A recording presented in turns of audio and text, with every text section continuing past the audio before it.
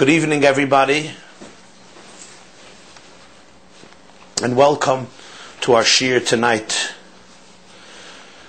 I want to also especially dedicate the shiur l'schus uh, my wife Esther Avigail Basrachel Sarah and our daughter that was born today, Zayin Adar, B'shah Tevo Mutzlachas, Hoidul Hashem Ki Toiv Ki Li'olam Chazdai. So every morning in davening, before we begin Shachris, we say Abaya Hava Mesader Seder Hamarocha Mishmod Gemara Valibed Abashol. Abaya used to organize the Seder Hamarocha, the order of the service in the Beis Hamikdash, in the name of tradition, and according to the opinion of Abba Shaul. This statement, Abaya Om, Abaya have a which we say in the morning before Izel Mekaiman, before we actually begin davening, comes from the Gemara Mesechta Yuma Daf Lamed Gimel. What is the meaning of these words, and what is the meaning of the words Abaya used to organize? The system of the service in the Beis Hamikdash, Alibed Abashol. According to Abashol, what does this mean? What it means is that in Mesechta Yuma, in the Gemara Yuma Daf Yudalid and Daf Tesvav, the Gemara quotes an argument between the sage Abba Shaul and the Chachamim and the other rabbis. The question was, what did they do in the Beis Hamikdash after cleaning out the first five lamps in the menorah before they cleaned out the last two lamps in the menorah? Let us explain.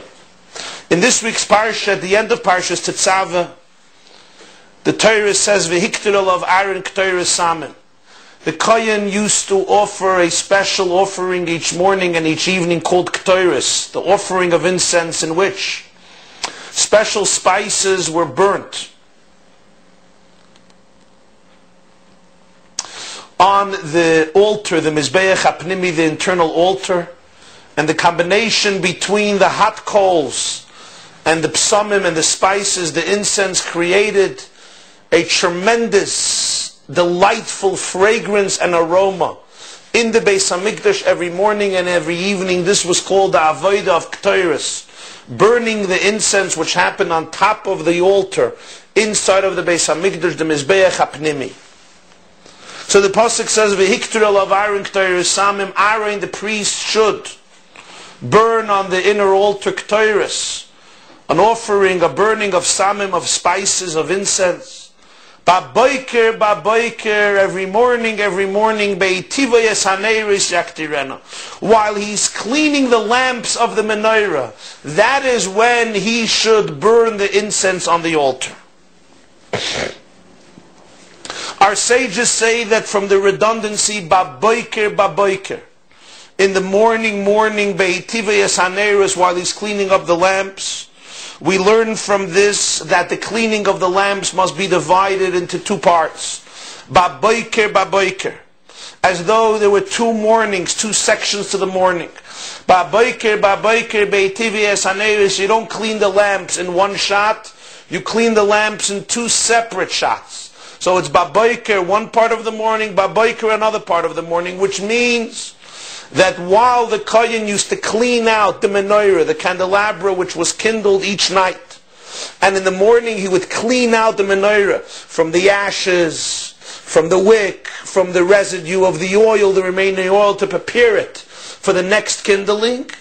That did not occur in one shot, it occurred in two separate shots. Hatovas haneris, Hetivayas haneris, happened in two sections in the morning, babaikir, babaikir.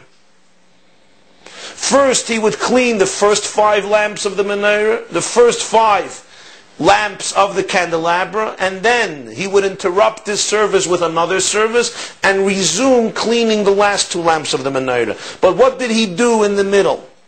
So there's an argument between Abba Shaul and the Chachamim. According to Abba Shaul, what he used to do in the middle was he would slaughter the Tamid offering. Each morning and each evening they offered a lamb known as the korban tamid, the daily offering. He would slaughter the lamb of the korban tamid and sprinkle its blood on the mizbeach on the altar. according to the sages, the Chachamim, what the Kohen, what they used to do between cleaning the five lamps and the two lamps, they used to burn the Ketairis. They used to burn the incense on the internal altar. Abba Shaul proves his perspective from the pasuk Beitivai es haneris yaktirena. Beitivai es haneris, when he cleans the lamps, yaktirena, then he should burn the incense. So he says, first finish cleaning the lamps, and then yaktirena. Only after that do you do the k'tairis. So what do you do in the middle of cleaning of the lamps? You do something else. You slaughter the lamb of the korban tamid and you sprinkle its blood on the altar. The Chachamim in Mesechta Yumadaf Tesvav say no. Beitivayas Haneres Ektirena means during Hatavas Haneres. In the midst of cleaning the lamps. Beidon Hatave, while you're cleaning the lamps. In the middle. You should perform the service of the Ketira. So they cleaned five lamps. They took a break and the Kohen burned the incense on the altar and then they resumed cleaning the last two lamps of the menorah. Now we'll understand what we say each morning in the beginning of davening. Abaya have a Masada Seder Amarachim Ishmei Gemara. The great sage Abaye used to organize the structure in the Beis Hamikdash on a daily basis. Mishmei de Gemara in the name of tradition. Va'aliba da Abba Shol. But his perspective followed the perspective of Abba Shol, not of the Chachamim. Because if you look in Abaye's structure, which we say every morning, he has like this, Dishun Mizbeach Hapnimi, cleaning out the inner altar, Kaidem la'atavas chamesh neiris precedes cleaning the five lamps. Hatavas chamesh neiris kaidemes ladam hatamit. Cleaning of the five lamps precedes the blood of the korban tamid, which is slaughtering and sprinkling the blood of the lamb. Dam hatamid kaidem lahatavas shtei neiris. The blood of the tamid precedes cleaning the last two lamps. And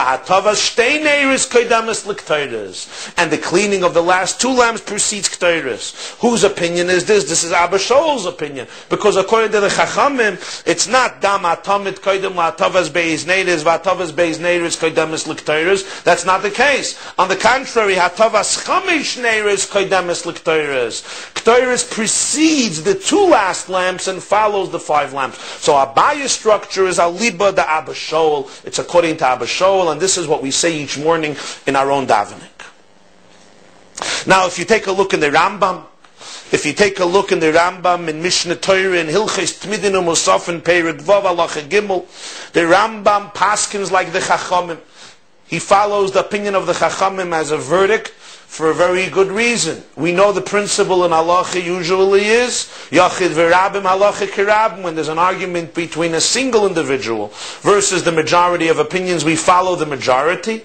Hence, the Rambam follows the majority of opinions, the Chachamim who disagreed with Abba Shaul, and therefore the Rambam says that after the cleaning of the five lamps, they would do the Ktoiris, and following that, Meitiv Shtei HaNeiris, they would clean the last two lamps. Also, the Smag, the Sefer Mitzvahs Gadol, the Smag as well, in Essen, Kuf Tzadik Beis, follows like the Rambam, the verdict, the halach, he gives as the verdict the perspective of the Chachamim that Ktoiris interrupted the cleaning of the lamps.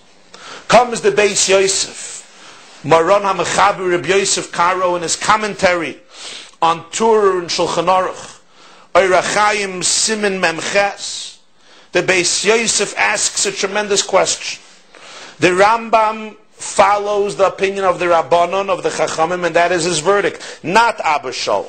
He says that Ktoiris interrupts the cleaning of the five lamps and the cleaning of the two lamps. V'chein niradas hasmag, the Beis Yosef says, and the smag, the great halachic authority, also agrees with the Rambam.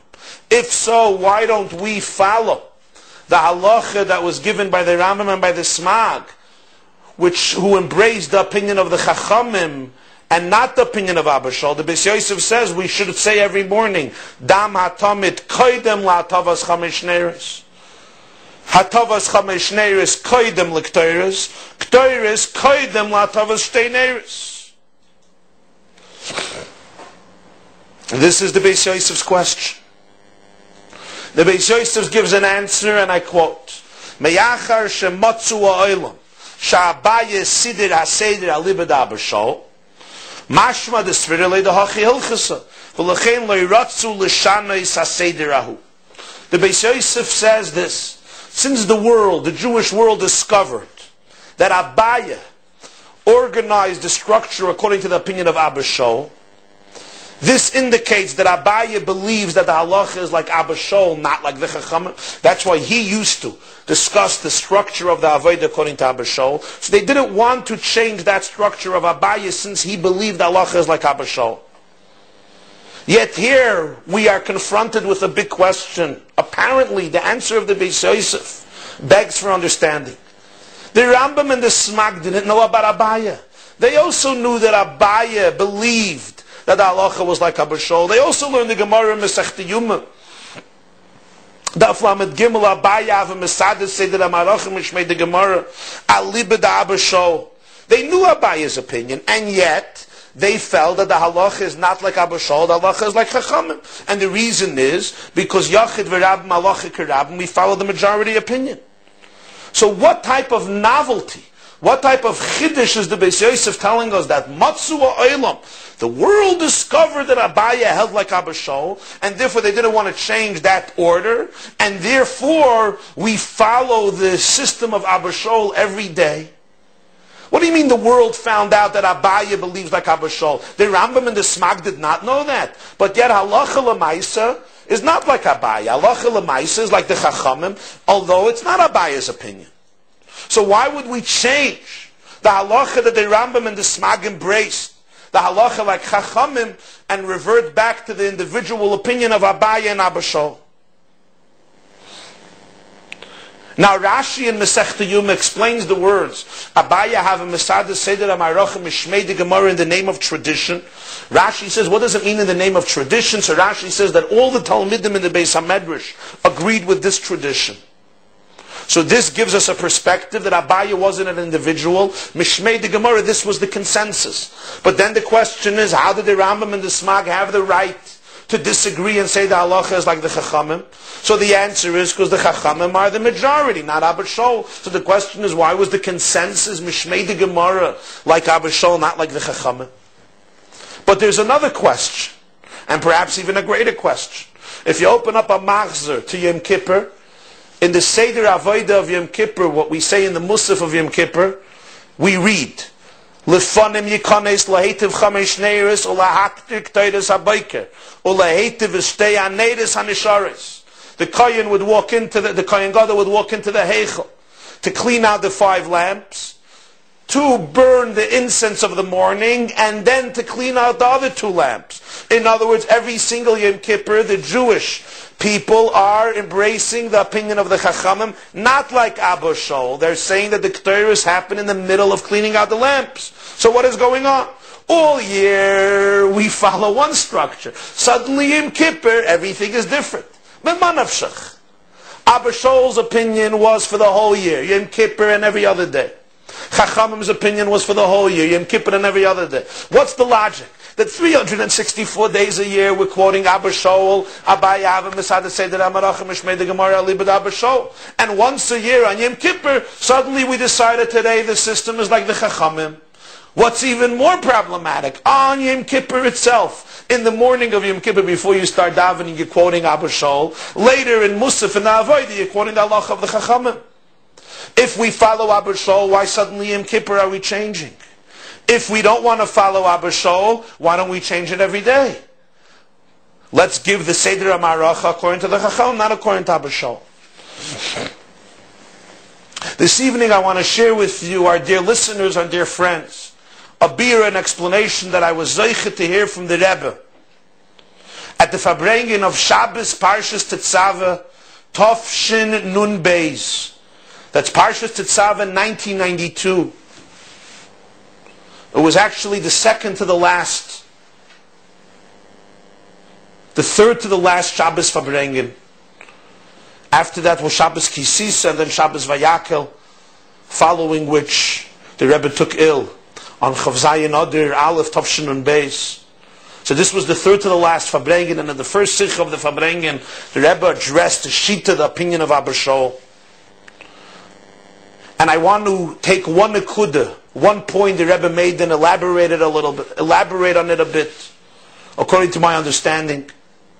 But by prefacing the idea that's well known for any student of Kabbalah, for any student of Chassidus, that every single halacha and every single mitzvah and each law in Torah, just as it has a literal physical interpretation, can also be explained on a homiletical, metaphysical, and spiritual level.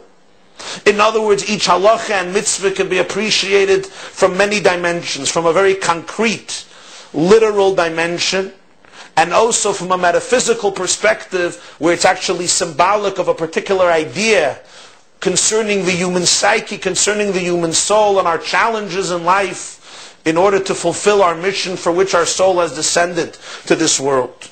The same is true concerning our discussion. The argument between Abba Shaul and the Chachamim is not only a technical argument about the order of the day in the Mishkan or in the Beis Hamikdash, what came first, what came when. It's also a spiritual argument representing two paths in the relationship between the Jew and Hashem, in the work of the Jew to create his own or her own Beis Hamikdash, to create our own sanctuary in which V'shachanti b'seichim, in which the Ribono Shel Olam is going to dwell. In order to understand the spiritual significance of this argument between Abba Shaul and the Chachamim, we must introduce the Kli Yakar, a famous Kli Yakar at the end of Parshas Tetzaveh. The source of the Kli Yakar is actually from Medrash. Medrash Tadshe Pedikir Aleph, but the Kli Yakar elaborates and he says, why were there two altars in the Mishkan? Why were there two altars in the Beis HaMikdash? If you're following these portions, you know, in Parshas Truma, we discussed one altar, and in Parshas Tetzaveh, another altar. There was the outer altar, the Mizbeach HaChitzain, made of copper, upon which they would offer all of the animal and grain sacrifices. Inside the Mishkan and inside the Beis Hamikdash in a chamber known as the Heichel, there was another altar. This altar was built of gold, Mizbeach Hazav, Mizbeach HaPnimi, it was inside. On it they would not offer any animal sacrifices or any grain sacrifices. There would be no wine libations or water libations. Rather, this altar was used almost exclusively for Ketairis. This is where they would burn the incense each morning and each evening. This is where they would take the various spices and place them on the coals, on the flames in, on this altar from which a smoke spreading an extraordinary uh, fragrance and odor pervaded the tabernacle and the sanctuary as mentioned above. This was the purpose of the internal Mizbeach, the golden altar. So the Kli Yakar says that the two altars represent the human body and the human soul. The outer copper altar represents our struggle to bring our body closer to God. The golden altar represents our calling to realign our soul with the Ribono Shel Olam. Thus, on the outer altar, they used to sacrifice animals, beasts, representing the beastly, bodily, coarse, material part of the person, which craves indulgence, which craves gluttony, which is addicted to self-preservation and self-gratification which sees its ego as the center of the universe and the satisfaction of its pleasures and comforts as the epicenter of life. And one really needs to take the bull by its horns, as we discussed in previous weeks, challenge it, sacrifice it, refine it, educate it, and direct it. Yet the inner altar was used for something else. They weren't sacrificing animals. They were rather burning incense. In other words, this was a service that was much more refined, much more subtle. Where the animal food or the grain offerings could then be eaten, Ketores can't be eaten. It rather created an aroma which speaks to a deeper part of the human psyche. Or to quote the Gemara, smell, aroma is something that the neshama enjoys more than the body enjoys. In other words, it affects a much deeper dimension of the human being. This is what Ketores represented. It wasn't the base, beastly struggle with the beastliness of a person to sacrifice it to God. Our confrontation with our bodies and our animals day in and day out. Rather, this was the avodah of cultivating the soul, of opening the soul up to its own deeper potentials, to its own greatest heights, to allow the soul to experience dvekus, to experience intimacy with its creator. He's not sacrificing his body and his animal to God. He's rather developing his sensitivity to reach, to aroma, to fragrance. Something much more subtle, aesthetical, refined, sublime, sensual. Reach also from the word ruchnius. Reach, smell, and ruchnius, spirit, are very much connected. This is not the confrontation with the physical, crass, and brute dimension of the person, but rather our calling to reveal and explore the untold depths of our own soul, of our own spiritual essence. Hence, the difference in the very words. Karbonois versus k'toiris. Karbonois comes from the word kiruv, close, karov. The Sefer HaBoyer, one of the earliest Kabbalistic works, writes, Karbonois is through that, that through which we become closer to Hashem. K'toiris in Aramaic, the word katar means kesher, a knot, a bond. In other words, through Ketores, man or woman not only became close, karaiv, but also kater, mekusher, became one, connected, bound up in a seamless whole with Hashem, and that is why Yom Kippur, what was the primary avodah? What was the focal point of the service of the Kohen Gadol on Yom Kippur? Was the Ketores. It was burning the incense in the Holy of Holies. Because Yom Kippur is that one day a year when the Jew is empowered to experience his or her deepest oneness with Hashem, and therefore it's manifested not so much in the service of sacrificing of animals, although that also had a significant place on Yom Kippur, but rather the celebration, the uniqueness of Yom Kippur, revolved around the special avodas haktoiras, the Kohen Gadol going into the Holy of Holies and burning the incense and the smoke going up. Because Ktoiris represents, as the Kli Yakar says, the avodah with the neshama. Now, if I can give a metaphor to describe these two dimensions that exist in our relationship with Hashem, let's use a metaphor from relationships between human beings relationships between friends, relationships between parents and children, between teachers and students, between colleagues, partners, and of course, the relationship between the husband and the wife.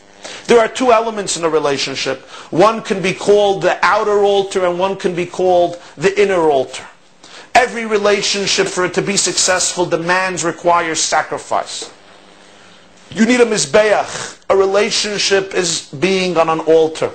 It requires commitment, surrender, transcending myself and connecting my life to somebody else. But there are two phases. One phase in a relationship is where the person must constantly confront and challenge his ego, his ambitions, his um, desires, his cravings for the sake of the other person. Practically speaking, you may not be in the mood of behaving like a mensch. You may not be in the mood of speaking like a mensch. You may not be in the mood of helping the other person and giving them what they need. But you know what? You make a sacrifice. You take the behemoth in you, you take the beast in you, and you sacrifice it for the sake of the relationship. That's one phase in a relationship, a great phase. But it pales in comparison to the kteris of a relationship. The kteris of a relationship is you're not challenging your animal and sacrificing it, but rather together you're creating a beautiful aroma. This is the true romance when a relationship, when both parties in a relationship sense the ecstasy, the beauty, the reach, the beautiful odor that is generated in their home, in their life, in the ambiance of their families as a result of their relationship.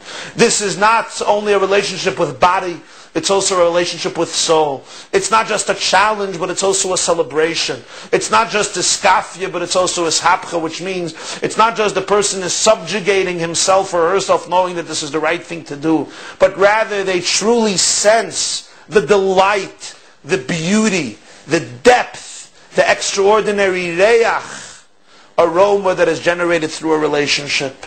It's a much higher and more beautiful level in a relationship. There are times when we are stuck in Mizbeach HaChitzoin, and there are times when we manage to elevate ourselves to the Mizbeach HaPnimi. Some people spend more time in this altar and more time in this altar. The common denominator of both is that you're committed to a relationship. You're committed to connect to another person. According to this introduction, we will understand the deeper spiritual meaning of the argument between Abba Shaul and the Chachamim. Each morning they used to clean out the menorah, hatavas haneris.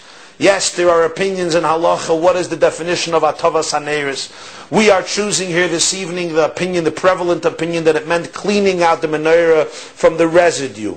There were the ashes, there was the dirt, there was the oil, there was the wick that wasn't consumed, and you had to clean it out in order to prepare the menorah for a fresh, new kindling. This is called Hatavas Haneris. What does it represent spiritually? The Pasuk says, Neir Hashem Nishmas Adam. The soul of a human being is a flame of God. The flame of God, that is the soul of a human being. But in order for us to kindle that flame, in order for us to kindle that soul, we first have to clean out our candelabra. We first have to clean out the menorah, the vessel in which we place the wick, and we kindle the flame when there's a wick with oil. What does that mean, spiritually speaking? It means you can't light up your soul. You can't light up your flame. Neir Hashem Nishmas Adam. The flame of God is our soul. If the body of the person is filled with dirt, is filled with filth, so you need atavas haneris. You need to clean it out so it should be conducive to be able to put in oil, to be able to put in a wick, to be able to kindle a flame. Or as the Chayvas Halavava is the great Musa Sefer Rabbeinu Bechayi ibn Pekuda writes, Kishem shelo yishkenu amayim va'eish echad kach la yishkenu taivus avas Hashem va'avas olam haza b'leiv echad. I'm paraphrasing, just as fire and water cannot coexist in one vessel, the love to Olam Haza, the love to materialism, and the love to God cannot coexist in one heart. The person can be filled with coarseness and yet have their soul burning. One has to challenge themselves. One has to clean themselves out. What they think about, how they speak, how they act, what they eat, what they don't eat, what they look at, what they don't look at, how they spend their days and how they spend their nights. You have to clean out your life from the dirt in order to be able to kindle the flame and have the neshama burn. And here we have two opinions. According to the Chachamim, even in the midst of cleaning out the menorah, you are empowered to burn incense. Even while the person is in the midst of cleaning out the filth, cleaning out the residue, cleaning out that which could not be consumed in the flame of his or her soul. Even in that confrontation and that moment, the person is capable to interrupt that. And in the middle of that, stop and burn incense, meaning he has the ability or she has the ability to feel the geschmack, the beauty, the sweetness of avodas Hashem, of serving Hashem. According to Abba Shaul, that's not the case. There are two separate stages. There is cleaning the lamps. Yes, you interrupt the cleaning of the lamps, but what did you interrupt it for? Not for Ketores, for Dam Hatamid, for slaughtering a lamb and taking the blood of the animal and sprinkling it on the altar. When you finish cleaning the lamb completely, then you can graduate and evolve to the next level, which is Ketores, which comes only after Hatavas Haneris. Zakdir Rebbe, this is also connected to his very name, Abba Shaul. Abba Shaul means a borrowed father. What an explanation. Abba Shaul, a borrowed father. You know, there's a word concerning Pesach. I think the word is from the Rebbe Rebbe Elimelech of Lezhensk, if I'm not mistaken. By the Seder, before the Manishtana and the Haggadah, what does it say? Kan moizgin kais we pour a second cup of wine. V'kan haben shoyel. And here the son, the child asks, alaylas. But shoyel doesn't only mean ask in Hebrew. Shoyel also means borrows, like a shoyel, a borrower. Vikana ben shoyel, here this child borrows. So it says in Polish Svarim and Polish Chassidus this. There are people who have fathers, physically, mentally, emotionally. But there are people who don't have fathers. They may have lost their father at a young age. They may have lost their father or their mother at a later time in their life, but they don't have parents. And then there are people who may have physical parents, but they never received the nurture, the love that a child ought to receive from parents. We live today in a world where often there is so much dysfunction in families that parents abandon their responsibilities of giving their children what children need to grow up, mentioned to grow up like healthy, self-confident, moral human beings.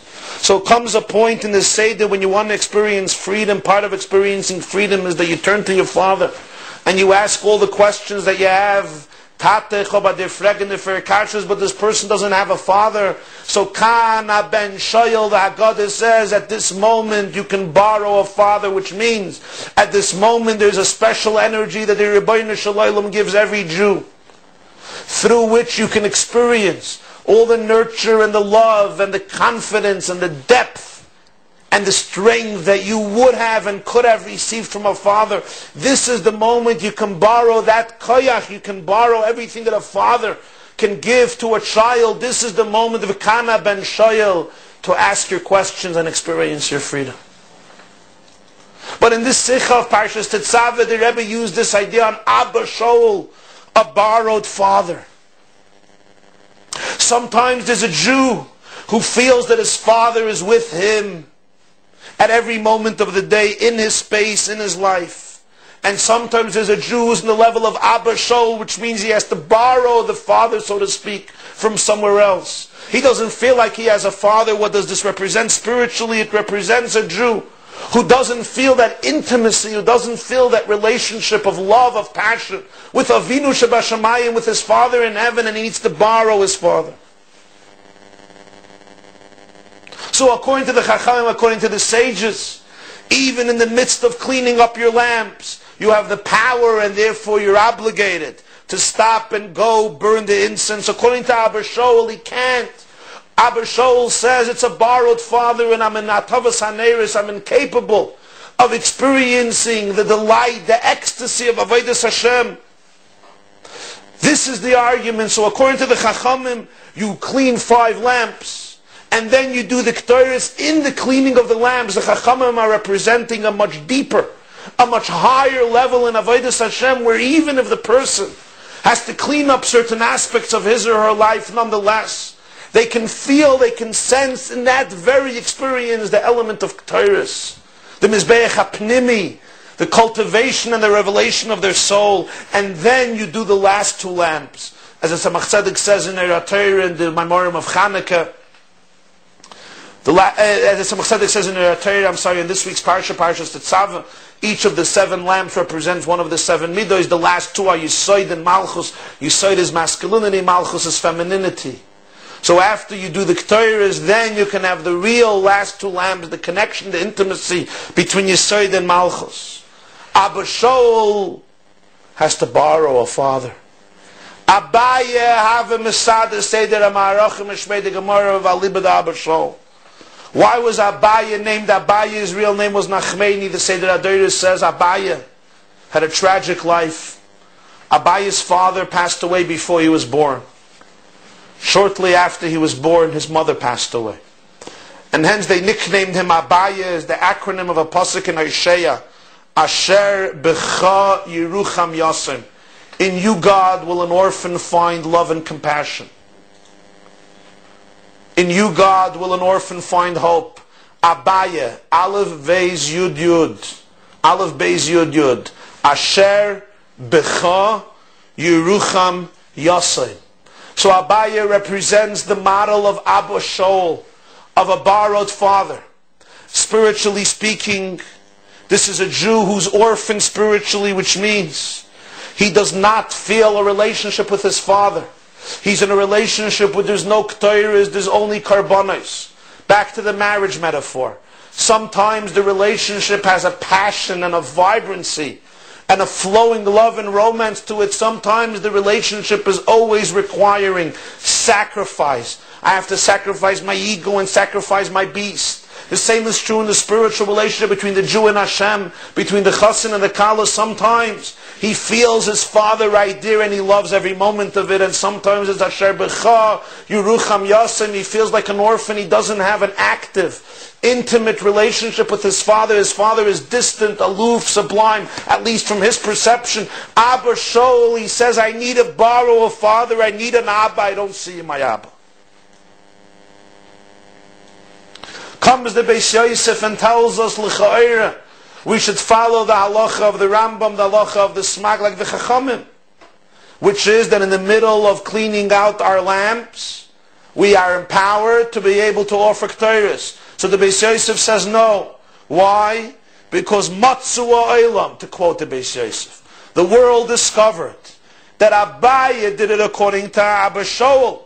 He believes the Allah is like Abba Shaul, and therefore they did not want to change it. So the Rebbe, using the words of the Beis Yosef and explaining them on a spiritual level, says like this: Matzua Olam, the world found Olam.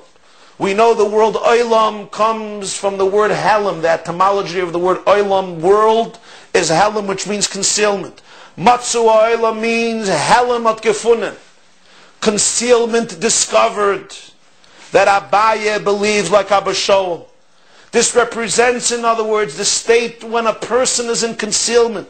When a person is in exile, banim shegalu me'al shulchan aviyim, children who are exiled from the table of their father, as the Gemara says in Brachas Dav Gimel. So they're on a level of a yasim, an orphan, the level of abaya, asher b'chayirucham yasim, and therefore they follow the perspective of Abba Shaul, where they have to borrow a father Elsewhere, matzu oilam, when you're dealing with an oilam, when you're dealing with a state of concealment, they cannot put burn k'tayris in the middle of atavas aneris. They're incapable. When you're in a state of concealment, there's no inspiration, there's no light, there's no luminescence, there's no brightness. You're a state of exile, mental exile, spiritual exile. Then the avodah must be like Abba Shaul. You don't feel your father, you may feel like an orphan, and still you continue cleaning the menorah. You continue breaking your nature and serving Hashem. You continue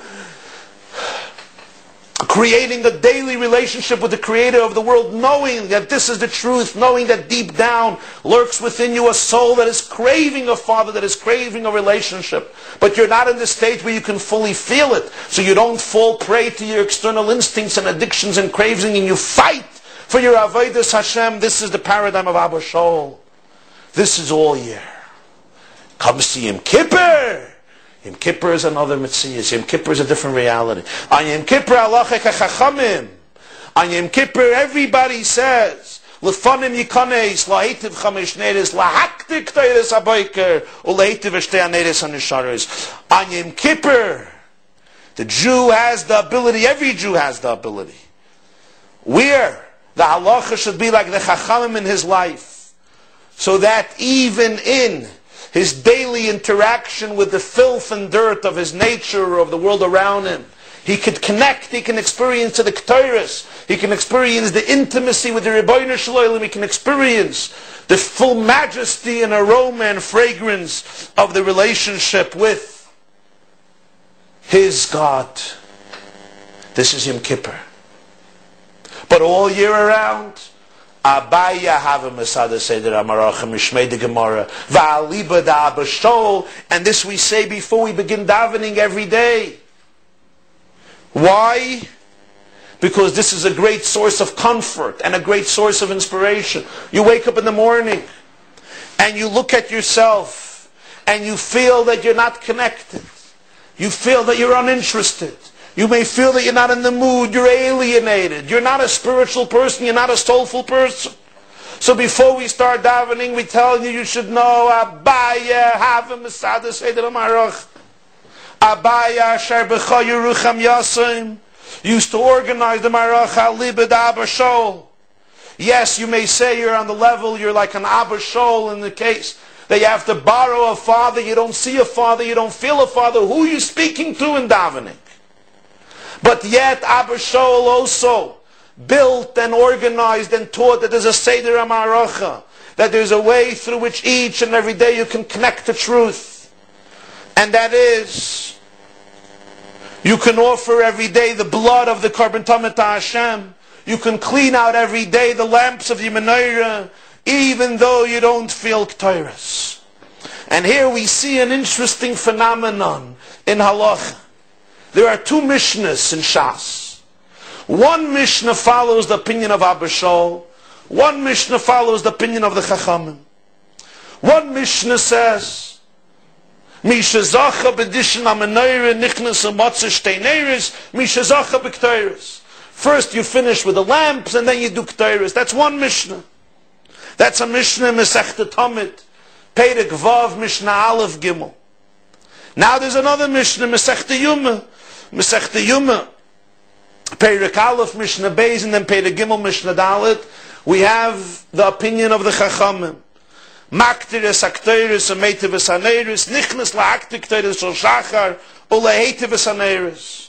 Ktiris comes before atavus aneris, like we know the opinion of the Chachamim was, you did five, then you did ktiris, and then you finished atavus aneris. So one Mishnah embraces Abba Shaul, one Mishnah embraces the Chachamim. The Gemara in Yuma says it's not a contradiction, because the two Mishnahs were authored by different authors. One believed in Abba Shaul, one believed in the Chachamim, but the Rebbe says, look where these Mishnahs are. The Mishnah that follows the Chachamim is a Masechta Yuma. The Mishnah that follows Abba Shaul is a Masechta Tamid. What's the difference? Yuma means the day in Aramaic. Yom Kippurim.